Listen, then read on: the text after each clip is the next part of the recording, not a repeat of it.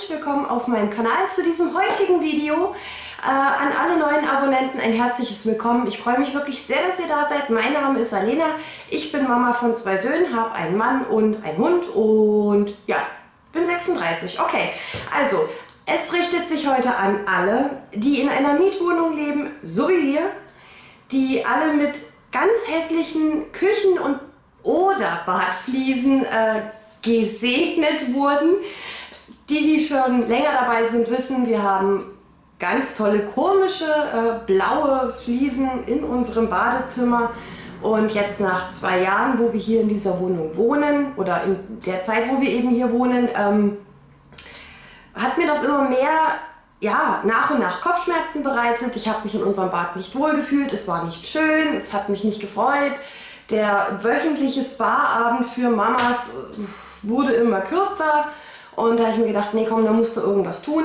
Unsere Vermieterin war leider nicht damit einverstanden, dass wir die Fliesen auf unsere Kosten austauschen. Unsere Vermieterin war auch leider nicht damit einverstanden, dass ich die äh, Bodenfliesen neu streiche, also mit Fliesenlack behandle. Ähm, also brauchte ich jetzt eine Alternative, die gut aussieht, die nicht allzu teuer ist und ähm, die wir bei einem eventuellen irgendwann mal Auszug ins Eigenheim ähm, ja, spurenlos wieder ablösen können, denn man darf in einer Mietwohnung nur Veränderungen vornehmen an, dem, ja, an den vier Wänden und am Boden, wenn man diese rückstandslos wieder entfernen kann und äh, ja, wieder rückbauen kann. Natürlich sollte man vorher immer doch den Vermieter um Erlaubnis fragen. In unserem Fall wusste unsere Vermieterin, dass uns diese Fliesen nicht gefallen und wir können es rückstandslos rückbauen und genau, okay. Alles, was ich euch in diesem Video sage, zeige, erzähle, habe ich selbst bezahlt, ist meine eigene Meinung, unser eigener Geschmack und liebe Handwerker da draußen, wenn ihr zuseht, ich bin eigentlich Bürokauffrau. Ich bin froh, dass das funktioniert hat. Also seid nachsichtig mit mir und ich wünsche euch einfach ganz viel Spaß bei dem Video.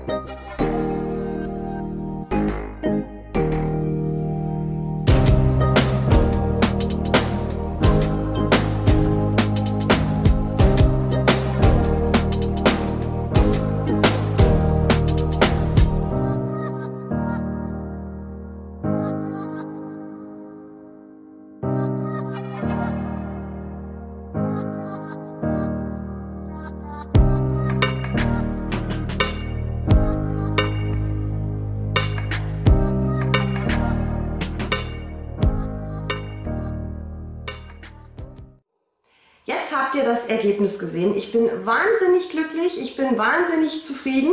Ich musste natürlich beim ja, Klebe Linoleum in äh, Plankenformat darauf achten, dass es Fußbodenheizungsgeeignet ist.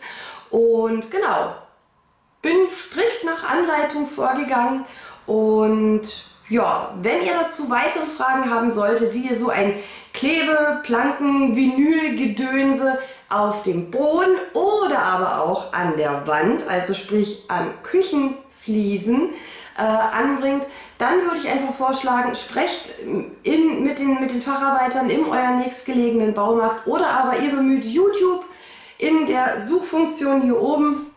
Da findet ihr ganz viele Videos, anders habe ich es auch nicht gemacht. Die Vinylplanken, die ich bestellt habe, verlinke ich euch unten in der Infobox. Ich glaube, die sind aber nicht mehr verfügbar, aber wenn ihr auf diese Alternative oder wenn ihr dann darauf klickt, werden euch ganz viele andere Alternativen angezeigt. Und wenn es jetzt nicht wahnsinnig eilig ist und ihr sagt, ihr wollt jetzt nicht unbedingt von jetzt auf gleich Eiche, Hellgrau, Vinylplanken haben, dann einfach warten, bis der Amazon-Händler die wieder auf Lager hat. Und dann würde ich sagen, sehen wir uns beim nächsten Video wieder. Ich hoffe, das Video hat euch gefallen. Liken, teilen, kommentieren bis zum nächsten Mal. Tschüss, eure Alena.